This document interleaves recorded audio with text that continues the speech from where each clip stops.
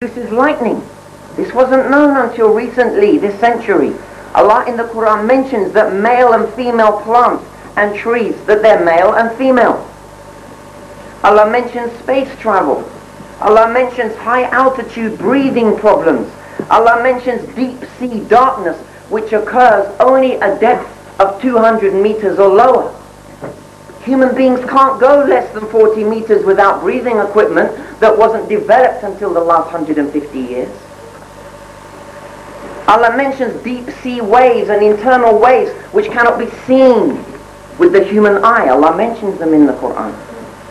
Allah mentions human embryonic development. Prophet Muhammad he didn't have nuclear magnetic resonance imaging, imaging for all those at medical college. He mentioned in amazing detail, Allah mentions human embryonic development. This wasn't possible without advanced technology only discovered in the last century. Allah pinpoints exactly an area near Palestine as the lowest place on the face of the earth.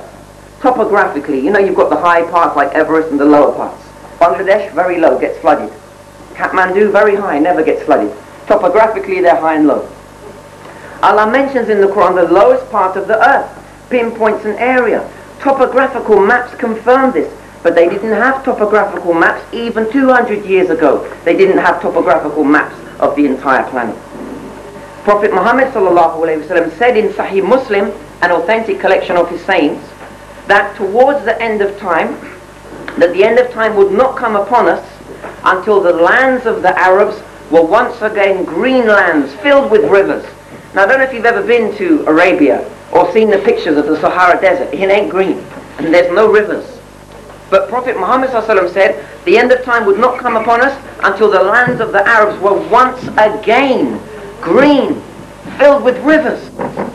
Scientists tell us that uh, there was an ice age, and in the periods during it and before it, that the whole of the Arabian Peninsula was covered in vegetation and rivers and that in the future there's going to be a similar ice age of a lesser degree. The scientists are calling it the snow age. Look it up on www.snowage, whatever site it'll be on.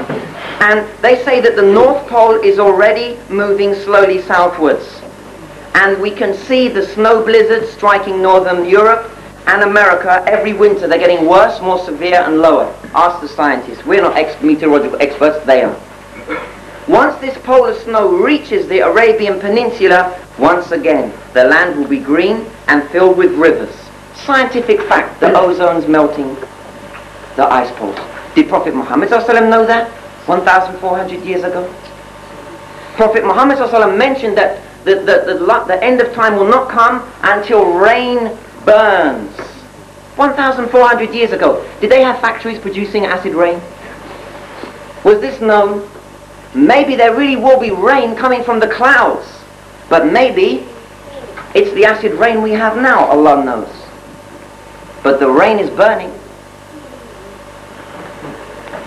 Allah mentions in the Quran human psychology, temperament, past civilizations and their downfall, historical facts, future predictions. But the greatest proof that the Quran is what it says it is and that Prophet Muhammad was who said he was is the clear and easy to understand doctrine of faith articulated in the Quran. Allah says in Surah An-Nahl, ayah 36, Verily, truly, we have sent amongst every nation a messenger proclaiming, worship Allah and stay away from false deities, from false gods. Allah tells us that the purpose of life is not trivial pursuit with Chris Tarrant, or how to get rich, or how to be famous, or, or, or, or, you know, any other meaningless aim or objective or pastimes or gains. Allah tells us in Surah Al-Dhariyat, uh, ayah 56, that Allah says, I did not create the jinn or human beings except that they should worship me. That's the purpose of life. That's the purpose of life. And nothing should get in the way of that.